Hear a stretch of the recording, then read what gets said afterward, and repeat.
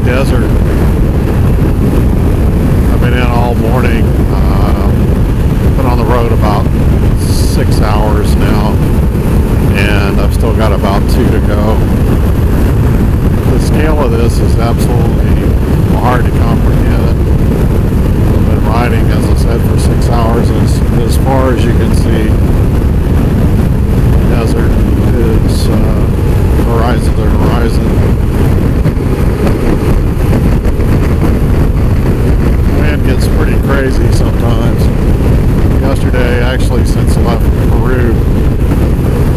Desert here has been quite different than the Peruvian desert.